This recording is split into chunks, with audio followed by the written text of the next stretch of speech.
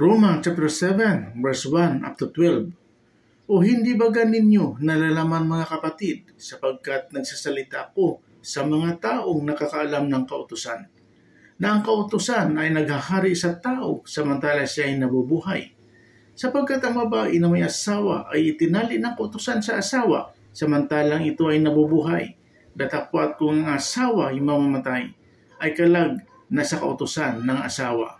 Kaya nga, kung samantalang nabubuhay ang asawa, siya ay makikisama sa ibang lalaki, siya ay tatawaging mga ngalon niya.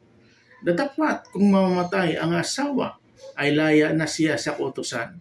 Ano pat siya ay hindi na mga ngalon niya, bagaman siya ay makisama sa ibang lalaki.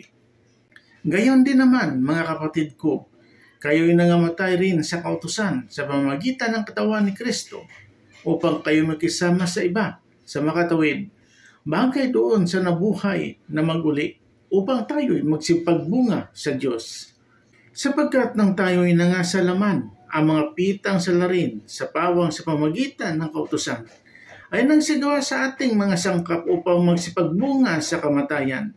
Datapwat ngayon, tayo ay nangaligtas sa kutusan, yamang tayo ay nangamatay doon sa nakatatali sa atin ano pa at nagsisipaglingkod na tayo sa panibagong espiritu at hindi sa karatihan ng sulat. Ano nga ang ating sasabihin ang kautusan bagay kasalanan? Huwag na mangyari, datapwat hindi ko sana nakilala ang kasalanan, kundi sa pamagitan ng kautusan, sapagkat hindi ko sana nakilala ang kasakiman, kung hindi sinasabi ng kautusan, huwag kang mananakim Datapwat ang kasalanan ng makasumpong ng pagkakataon ay gumawa sa akin sa pamagitan ng utos na sarisaring kasakiman.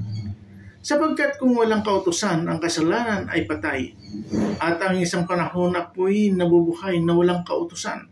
Datapwat nang dumating ang utos, ay muling nabuhay ang kasalanan at ako'y namatay.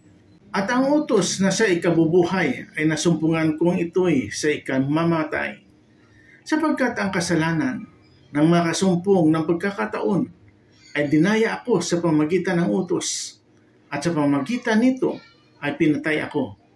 Kaya nga ang kautusan ay banal at ang utos ay banal at matuwid at mabuti.